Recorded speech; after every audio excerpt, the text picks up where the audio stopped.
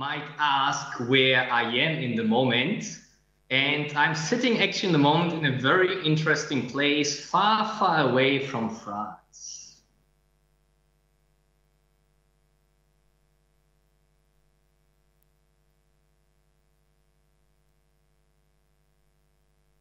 Okay, this is where I am in the moment. So I'm sitting in Shenzhen, and Shenzhen is that one city which has been able to, to grow within 35 years from a small village with, with just a few thousand people to actually 20 million people. So the, the picture you see on that uh, slide is actually a picture from the rooftop of, of our office and is showing the, the central part of Shenzhen. And the one tower on the left side, they just finished a few months ago, has is in the moment 600 meters. And believe me, they are building already the next one. Shenzhen is actually just one of many cities uh, around the River Delta, which is also called the factory of the world because many products made in China are actually built here. So Shenzhen is, uh, with 20 million people, the capital for high tech and for electronics. Directly next to it is actually Hong Kong with 8 million people, which is like the capital for import, export, shipping, finance, and investment. If you go slightly north, you will actually find Huizhou with 5 million people, which is focusing mainly on chemicals, actually. Dongguan is, is directly next to it with 10 million, with, where the whole city is focusing on plastic, clothes, wood, and this type of products. Guangzhou is actually the capital of the province with 30, 14 million people and is focusing on finance, software, and general production. On the other side, if you go down, we find Foshan with 8 million, where you will find thousands of factories just focusing on metal processing, aluminum extrusion, and similar type of productions. Zhongshan with 3 million is focusing on lights and LEDs. Zhuhai with 2 million on software, AC, printers, and boats. And finally, Macau uh, with 0.5 million is like the Las Vegas here from Asia.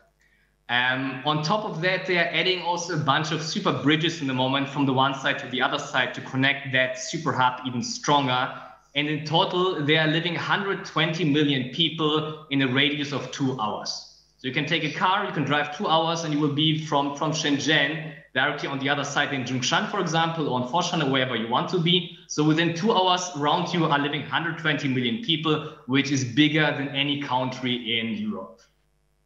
And as I said, they're all focusing on producing for the worldwide. Now, and the interesting thing in China is that the Delta is one super hub, but not the only one. So if we zoom out a little bit, um, you will find actually four super hubs which are which have impact on the global world. So the one around Shenzhen, so the River Delta, is a population of 120 million people and is focusing on high tech development and manufacturing and as I said, it is actually smaller than Switzerland from the land size. The other one you might know is actually Shanghai, a center of the Yangtze River Delta, which has in total a population of 92 million people and is focusing a lot on banking, finance, and business. Beijing, uh, center of DD data, is actually with 24 million not such a big super hub, but still the major one for politics, news, education, and actually also software development. And since a few years, the Chinese government is trying to push actually also a hub in the middle of China, which is in the moment Chengdu or Chengdu with around 45 million people. And this is actually turning in the moment into the new low cost manufacturing, uh, yeah, for any kind of low cost products. Okay. Now, um, you might ask this next question, why am I here? Really nice numbers, nice cities. The question is actually quite simple. So just Shenzhen did 270 billion GDP in 2015. So just that one city is making actually more turnover and revenue than many other countries in total. Um, just in Shenzhen, you will, for example, find the electronic market Huaqiangbei. So on the left uh, left picture, you see just one snapshot of that big market. It's actually like an entire district you can walk through, and you will find every electronic component, every single cable, every chip, every connector, everything what you can imagine, what you would need for your product, you can find there. And either you just ask for a single piece and you might get it for free, or you can just directly order a few thousand or a million units because you need it for mass production. On the other side, you see now, for example, some of the factories which which are at Foxconn, which have really the size. So, the moment, the factory in the Foxconn factory in Shenzhen scaled down from 300,000 people to 250,000 people. So it's a quarter million of people working in a single factory, and the whole thing is really like a fortress with four gates in each directions, with manufacturing, with living, with hospital, with school for the children, and everything else. So it's like basically like a city inside a city, which is just focusing on producing your iPhones, your uh, iPads, tablets, and many, many other things. So basically, whatever Silicon Valley is for software, Shenzhen is actually for hardware. You will find in Shenzhen actually also many famous Chinese companies which have here their headquarters. They started here and basically this is where they're at home. So you might have heard about TCL, about ZTE, Huawei maybe. They're doing UMTS sticks also for Europe. DJI, they're making their famous drones. Lenovo is making your ThinkPads if you're using some, but also Skyworth or Kingdee, which is doing TVs but including companies like Compaq, IBM, Foxconn, Olympus, Philips, and Epson are home here, basically to access all the resources which are existing here on the Pearl River Delta. Plus, actually, also Baidu, Tencent, BYD, so some of the big companies you might also know are actually coming from Shenzhen and are having their, their headquarter in one of the high-tech parks which the city has.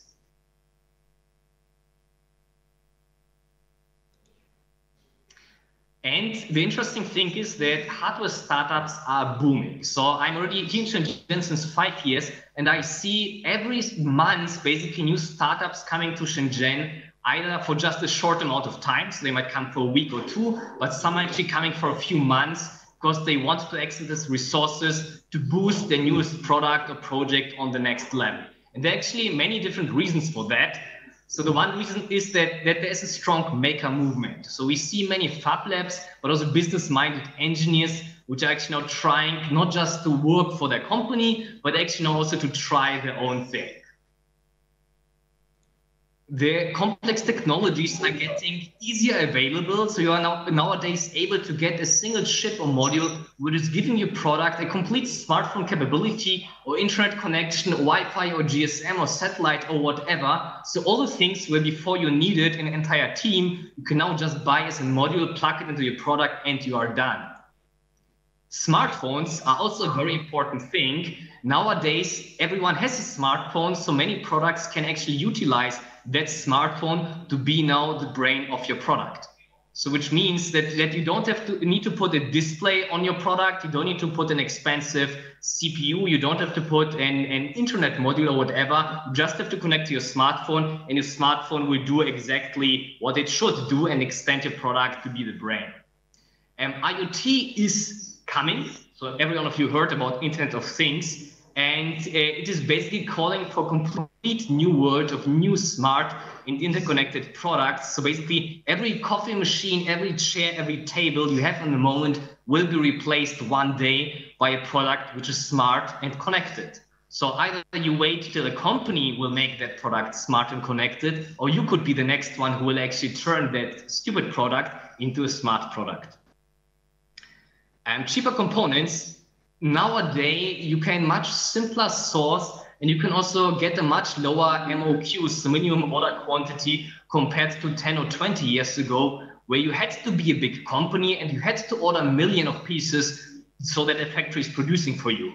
Nowadays, you can actually go to a factory and even just ask for 1,000, 2,000, 5 or 10,000 pieces, or even just a few hundred if you really need it. Of course, also prototyping and mass production are getting easier and faster to access. And crowdfunding makes it easier for you to validate if the market really wants your product or not and is willing to pay for it or not. Plus, of course, online marketplaces are allowing global sales without that you have to invest huge in inventory and give 30% to distributors. So 20 or 30 years ago, you could not go on Kickstarter or Indiegogo, but nowadays you can easily. So you don't have to go to Best Buy or to, to MediaMarkt or whatever. So you can still do it if you want. But as I said, for a simple and, and cheaper beginning, you can just go for crowdfunding and people will already place orders if they like your product. Also, investors love smart hardware. So after investing many, many years just in websites and apps and all the other magic, this market is overcrowded. So in the moment, more and more investors are actually looking to invest now in products which are not, not just software, but are combining now hardware and software to make something smart. So to be IoT, to be smart home, smart city, or smart something else. Uh, you will see that investment in hardware startups is growing extremely. So on the left side, you see on the chart indicating uh, the growth from 2010 to 2014, where basically investment raised easily 10 times as much as it was just a few years ago, and it keeps growing. Also, you see that the number of devices which are connected is growing exponentially. So like years ago, we had just big computers which companies have to afford. Then at some point you could buy a mini computer for an office or for a school. Then everyone could actually uh, just buy a normal PC for home. Nowadays you see that there are web devices, mobile devices or IoT, which are growing the number of hardware applications even faster than software applications can grow. Okay, after understanding now the possibilities in hardware development and hardware startups, uh, many people do underestimate effort and risk which is necessary to make it happen. So yes, I can put easily a prototype together. I can build easily an MVP, but really to bring a product from the first idea to something which is on the market and running for one, two, or three years wherever your warranty is ending and is not dying is actually something which is including many, many important things which you actually cannot skip if you want to make it good. So don't underestimate the effort and risk to make hardware happen. And uh, we have seen that many great ideas actually just staying ideas and that for some reasons. So we see that many people which have good ideas, they do it the first time so they are lack of execution experience. So they never did it before. They do it now the first time. So there is a lot big of risk that they make it wrong or that they have to learn on the way and it's just taking longer. Um, there is lack of teamwork. So because they do it the first time, they might not have a team yet. So they might not have co-founders, they might not have partners which are able to cover the hardware side, the business side, the marketing side, the design side, and all the other magic. Plus, of course, they are maybe also not experienced in working together as a team, in managing people, motivating, or even hiring the right people. And lack of support. So as they're doing it the first time, the market or parents or investors or someone else might not trust them that they are able to deliver. So they're not supporting them in such a way like it would make it would be necessary to make their life easy. And last but not least, many people might not trust them. So even on Kickstarter or Indiegogo, a product looks good, it's one thing, but seeing that many companies are not able to fulfill makes them people actually not trusting and then not supporting these companies. Uh, and of course, they underestimate how much support is actually necessary for even a simple or medium big idea to really make it happen especially because an innovative idea is innovative because it was never done before. If it would have been done before, it would be easy, but it would be not innovative. So we believe that growing an idea needs a team to love it, raise it, care of it, believe in it, and let it go to the world. And similar like a baby, um, the baby is very fragile and can fall easy. It can break legs and arms or even die on an early stage. So you have to take care of it. You have to protect it. You have to help that it can start walking. But the later on you got the product more ahead, closer to the market and more stable, the more stable actually the, the child can walk and is more assistance of different kind of things which can go wrong. Now, how to access the Silicon Valley of hardware. There are actually three main things which would matter for you uh, to access, for example, the rich resources here. So on the one side, of course, gain experience. Experience matters everywhere. So there are many ch uh, chances to do things wrong. So the, the more you learn them to avoid them, the better. It doesn't matter if it's about development, about mass production, about finding the right people, about managing people, about picking co-founders or investors or whatever every experience you can make, everything you can learn to avoid if you make something wrong is something which is definitely necessary. Um, otherwise, you might fail by yourself, or your competition might succeed just because they have more experience in something what you don't have. Second thing is build network and relationship. So no one will give you as outsider the same deal like an insider. The same applies for Paris, for Berlin, New York, Shanghai, wherever you are. If you're not from that place, it will be difficult for you to get the same deal. And especially in Asia, it's even worth relationship counts even more than you might know from, from, from France or from Germany or whatever. So here it's even more important to build the right relationship, the right network, to maintain that relationship and so on, just to get good prices, to get good lead time, and to good, uh, get all the other things. Plus, last but not least, you should know what you're good in and what you're not good in. So for things where you don't have a team yet or where you're not good in, select a strong partner. And strong partner means actually allow, it's allowing you to focus on what you are good and unique in, Why now the partner is actually catching the stuff which you're not good in yet. Okay. Okay, there is one very important thing where we see that many startups don't see the big picture when they are at the beginning. So they have a good idea, they have a nice design, they have even an MVP, and they think they are finished, but they are not. They're actually mostly at the beginning of the whole thing and even don't see how much more work needs to happen to be there. Uh, and this is why we actually created or put together the whole product life cycle, which is showing nine different phases, which every product has to step through to be actually successful. Phase number one is the idea. Phase number two, design, then development of the product, prototyping of the product, market validation, which means confirming if actually the product is good or not, if the market wants it or not. After this, mass production, sales, fulfillment, and after sales. So there are in total nine different phases we have to walk through to make your product successful. I will go now step by step into every single one of them and just show you quickly how much work actually is in every single one of them if you want to make it right and to avoid all the risks or mistakes which other startups are actually making. Okay, phase number one is idea. So usually, uh, if you don't have the idea yet, then you will brainstorm an idea. So you might sit down, you might think, where's the market need? What are pain points in your life?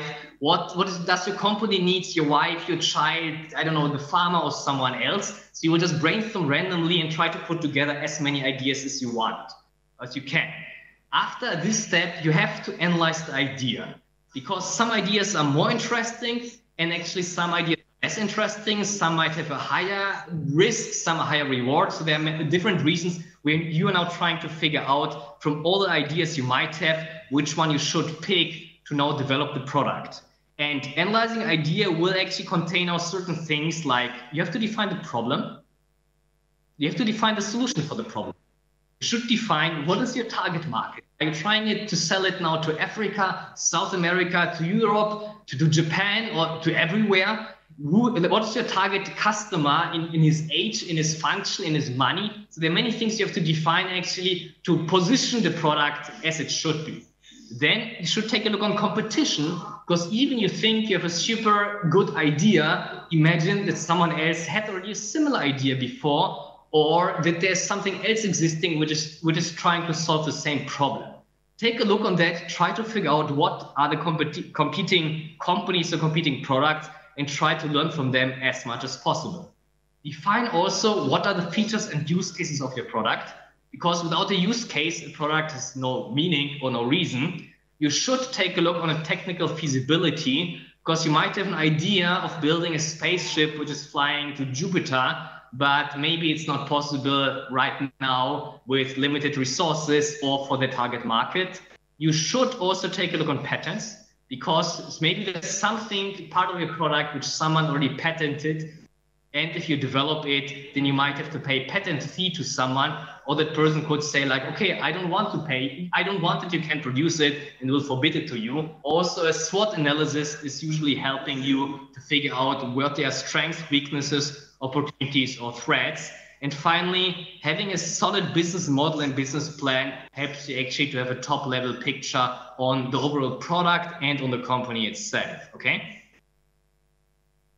After nailing down these few items, you should then actually start defining the product, which, which means you should define the functions, you should define the requirements and the specs. So something which is now putting all the information together, which you need or another team team needs to now actually design it, develop it, or do market validation. So it should be some kind of document which you can give to an engineer and say, engineer, build me this, or designer, design me that, and they will just make it happen okay?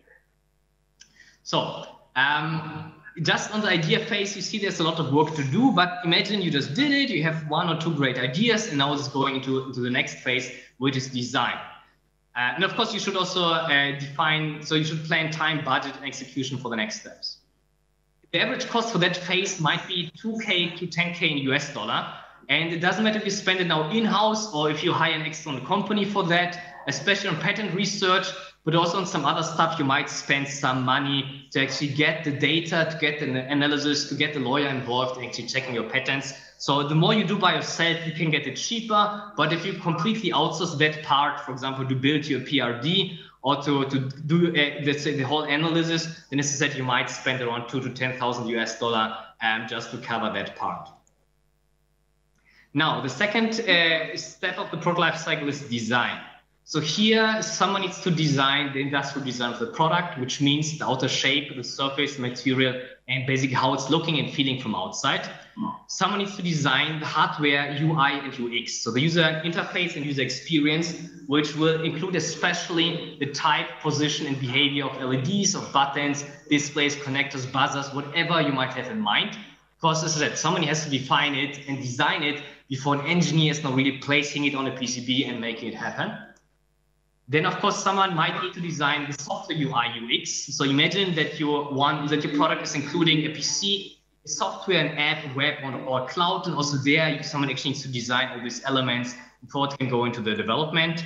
And also for package and package content like cables, chargers, manual, accessory, someone needs to design it before actually someone cannot develop it and yeah, prototype it. Um, in average, you will spend on this phase one to 5,000 US dollar to design all the different elements and items. But of course, it depends now if you need, let's say, also an app and web and cloud uh, design, how many pages it's including and so on. Uh, so basically, you can make it much simpler, but you can also make it very complex and spend a lot of money in actually designing and branding the entire user experience. After the, the design is finished, now engineers will start touching it and doing something out of it, which will include usually mechanical engineering. It will include electrical engineering. It will include firmware development, which is the software that is running inside the device. Then there will might be some software development in case your product is connecting somehow to PC or laptop. There might be some app development if your product is connecting to smartphone or tablet and there might also some web or cloud development in case you have a cloud backend or frontend or something where people can interact directly. And of course, even the package or package content development might need some engineer to take now the beautiful design and convert it into something a factory can produce. So looking on all the different things which you might need to develop the product, you will spend actually also here in average one to 5,000 US dollar per iteration and it doesn't matter if you hire own engineers or use external ones, the, the in-house engineers will also not do it for free. So depending, as I said, how complex it is and how experienced the people you're using, you will spend, as I said, $1,000 to 5,000 US dollar just to make now one iteration of developing all the different items. After the development is done, um, of course, you want to host something, you want to try something out and see if it's looking, feeling, and doing what it should do. So now this is the phase where prototyping is starting. And here you will prototype the mechanic by using CNC milling or 3D printing, laser cutting, silicone mold or something else. You might prototype the electronic using PCB, FPC, BOM, PCBA, some quality control, uh, optical inspection, X-ray, or whatever you might need. You might, of course, also prototype the package and accessory. Then someone needs to combine, debug, and optimize the things. So someone needs to take the mechanic and the electronic and the firmware, put it together and try out if it's working. and of course also test the whole product first by yourself but later on maybe by a test group which can be your target customer it can be yourself it can be your family it can be best friends it can be someone else then of course you should collect the list of changes for the next version and if you are not 100% happy with the design or with the result you should iterate iterate the three phases so design development and prototyping again till you're actually ready for market validation you don't want to go on Kickstarter, Indiegogo, or even to an investor with a product which even you don't like. So if you don't like something on the first prototype, go back, change the design, develop something different, prototype it again, and test it again till you are so happy with it that you are fine showing it now to the market or to investors and do the next step. Now, on the prototyping part, also here you might spend in average 1,000 to 5,000 US dollar per iteration.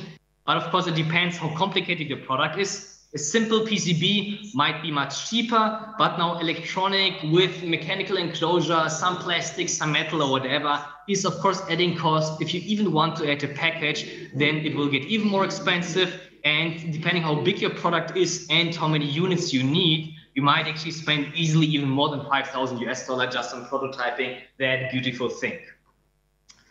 Okay, after are happy with the prototype in your hands, we highly recommend that you don't just pro start producing it, but you do a market validation. So the market validation you will need to make to define branding and market positioning because you want to, to define your name, your logo, your brand latest at that point. Before it was not necessary, but now you are hitting public space, you hit online page, you hit other people. So you need to define all these things to define. You want to be to Apple of your product line, or you want to be more ZTE or something else. You need to do some pre-launch marketing, which might include setting up your social media channels, setting up landing page, getting newsletter subscribers and everything else. Uh, you might need to prepare your campaign, which is including story, the page itself, the video, and all the other things. You will need to execute the campaign as soon as you're ready. And of course, also the follow up. Plus, after it's done, you want to do a transition to an own website, webshop, or sales. And of course, make sure that you deliver and that on time. Okay.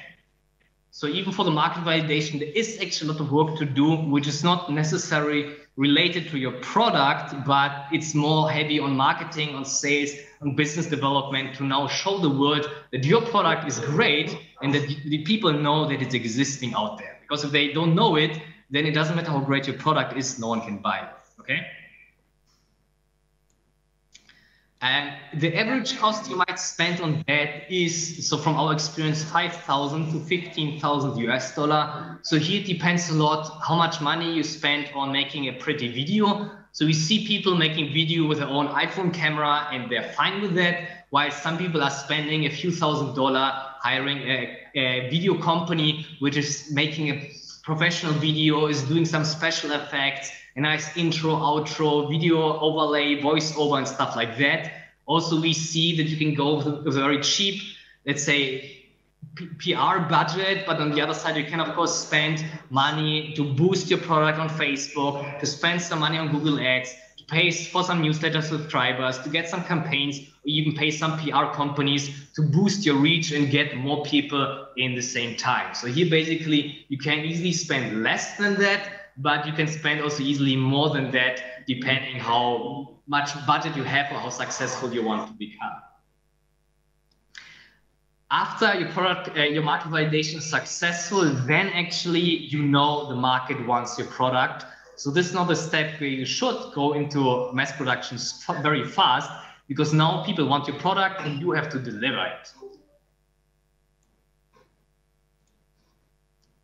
Okay, which means uh, we go into the market, the mass production phase.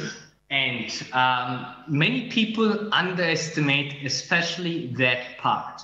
So mass production for the first production is not the same like for the second or third or fourth production. The production for the first part is the most difficult, the longest one, and the most expensive one.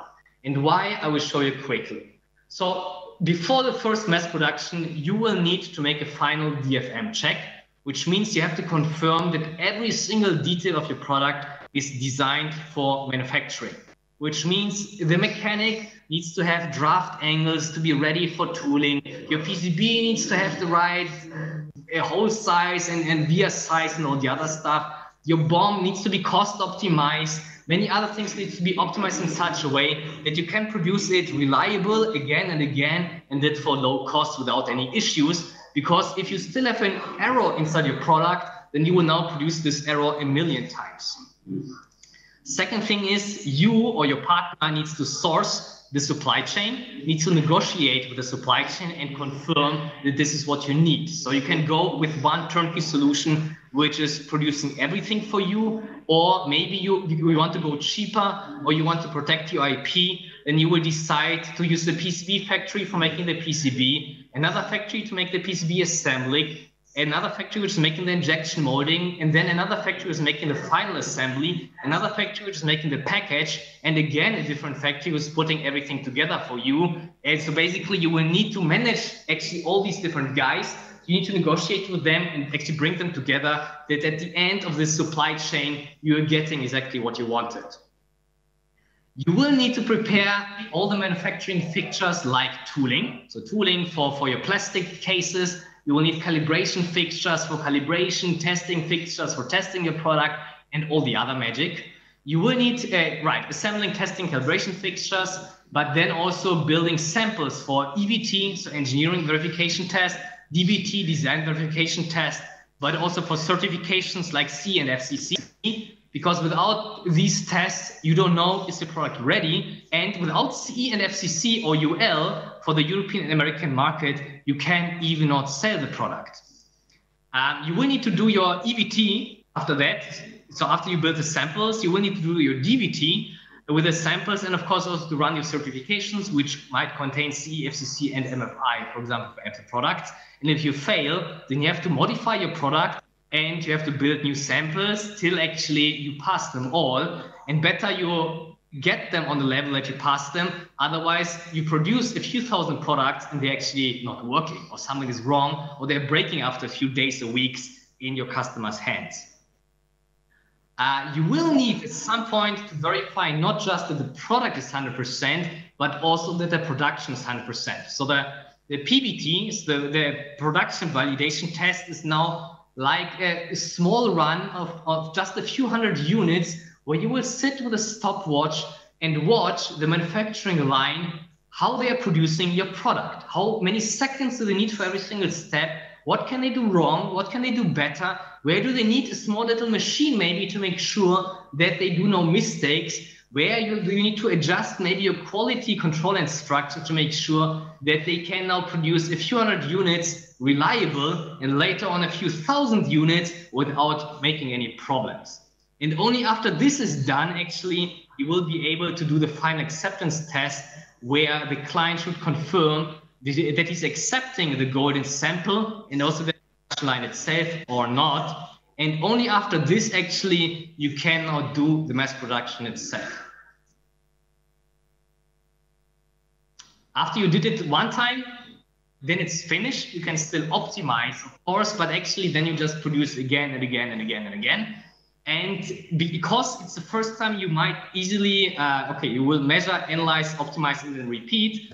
Uh, because you did it the first time, you will actually spend easily between 30,000 to 150,000 US dollar just for preparing the production. The biggest cost and time drivers on this one are tooling. So basically, if your product contains any kind of plastic parts, then you can spend in simplest way 5,000 US dollar for the tooling for it. But if you have, let's say, a more complicated tooling, you spend easily maybe 20 or 30,000 for that. If your product contains multiple parts and pieces, double injection molding and all the other stuff, I've seen products which where the client spent 300,000 US dollar just for the tooling and he had 20 different molds for 30 different pieces which had to be all tested and optimized and it takes at least a month to prepare the tooling. So till T0, in average, like two more weeks, two weeks more to actually optimize it. So just that part, so part three, might take you easily, as I said, six weeks and let's say 10, 20, 30,000 US dollar just to create the tooling itself. The second biggest cost factor is actually the certification tests. So here it will take in average two weeks for the testing, in total four, maybe even six weeks to prepare all the documents. And you will spend maybe five, 10, 15,000 US dollar for every single country because let's say for America, for Europe, for Japan, for Australia, you will need actually other kind of tests which you have to pass, but you need to pass them if you want to sell to that country, okay? And then the other parts actually are not that big, but especially tooling is very expensive and time consuming, and the certification tests are big and time consuming. And unfortunately, there's not much you can save about that. So this is something which is going to a test house or to a factory, and you have to make it to make a product happen, okay? Now, after production is finished, hopefully already in parallel, you um, should prepare your sales, which can be either online sales. So you might want to design your own online store. You have to set up and implement it. You have to host it and run it. So that's now start making money for you.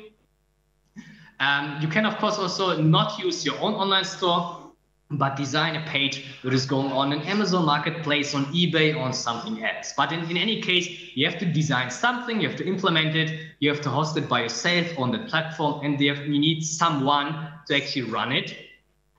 Um, on the other side, you can also go for offline sales, which means that you will need to research and select potential distributors. You might need to connect to the decision makers at the stores you might need to negotiate and sign your first order, including the payment terms and so on. Plus, of course, you need continuously to maintain them, to manage them, keep relationship, make sure they order, make sure they're happy, make sure you get enough feedback that your sales and their sales is growing all the time. Um, and on this one, you will spend an average 5,000 US dollars. So it doesn't matter if you go for designing and branding and advertising your online part or your offline part, okay? After your sales is up and running, you will need, of course, to take care of fulfillment.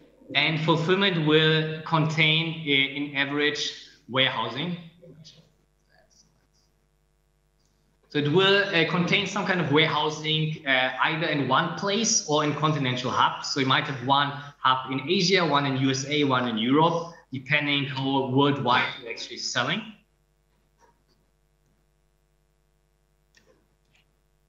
you might need uh, either some kind of small batch fulfillment to end customers. You might ship directly from that hub, for example, from the factory to your end customer in Paris, in Berlin, in New York, and whatever. Or you might do actually big batch fulfillment to local distributors, which will then distribute to the stores or end customers. And of course, you have to track uh, stock, you have to track shipping, track orders, but also you need to then actually create sales forecast ahead of time to be able to produce before you or your distributors are running out of stock. And uh, of course, you have to do the just-in-time production plus buffer to make sure that, that if people like your product, they don't have to wait for it, but actually they can directly buy and get it as soon as possible. Um, plus, of course, you have to, uh, to manage different options like colors, uh, certifications, package, manual, or language for different countries because maybe your package for the French market is different than for the German market, is different than for the American market, the Japanese market, Brazilian, or something else, which includes also, as I said, the manual or even the color or the design, how you uh, present the, the product itself.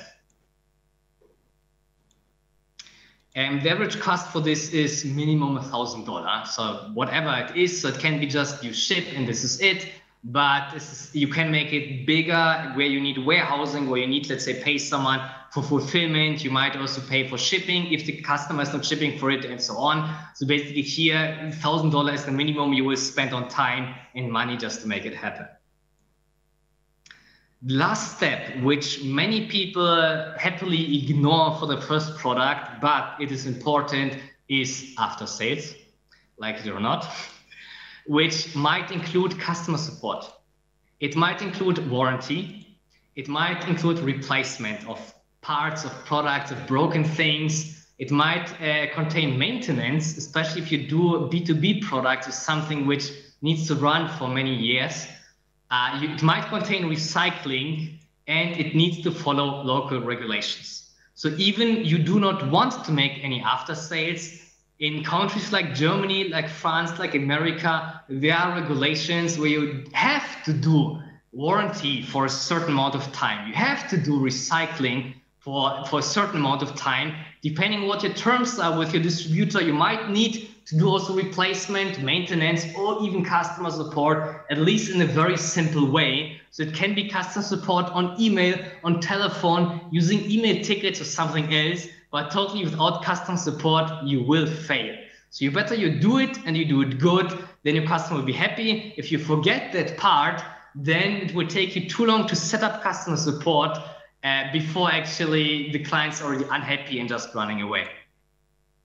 And mostly it will require local language. So trying to do customer support uh, in just English might work, but depending who is your target customer, if it's not the grand, so eh, old people, old people in France and Germany, they might not speak good enough English. So if you want to sell to them, you will need to offer customer support in their local language. Otherwise, it will not work out. Similar also for Brazil, for Japan, some people might speak good English, but most people not. So if you target these markets, either your product is so simple that it don't need explanation, there are no problems and so on, or actually you need to create custom support for the language or you will fail. Um, unfortunately, this part is very specific to the offered product or service. If you do an IoT smart home device or a health tracker or something for old people or babies or for food or for, I don't know, or for fashion. So depending on what it is, it will be a very different customer support, but actually you need to create that specifically for that product or service you're offering. Um, also here, your average cost will be at least a $1,000 just to set everything up. But if you do many countries, many languages, and need even a whole team for that, you might spend happily much more than that. Okay? Now, um, why do we know that? Why do I know that? Um, it is actually quite simple. So because we, so the company I'm running is actually simplifying complexity by providing a turnkey solution from idea to market. So actually what we are doing since five years is we are helping our clients with all nine different feeds of product lifecycle to make it happen. Some customers are choosing all of that uh, and, and we just run it all for them. But while some customers are saying, oh my God, I, I do everything by myself or using a different party, but I don't have mechanical engineers, so I need your team to, to do mechanic and our team will do the electronic or the software development, for example. Um, here you see just eight products which we've been involved in the past. They all ended on Kickstarter or Indiegogo, raised anything between a few hundred thousand till actually here 750,000, ranging from sous vide cooking device for American customer, a robotic kit for a Chinese customer, a lifestyle lamp for another American customer, a, let's say head wearable device, which is telling you how much you are focused or relaxed.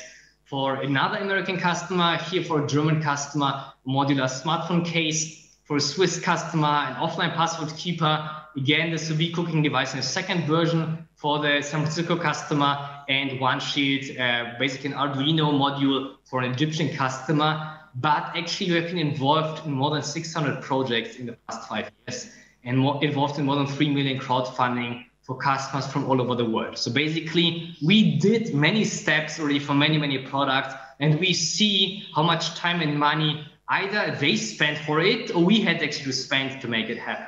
Okay. So this is basically where, where all the data is coming from.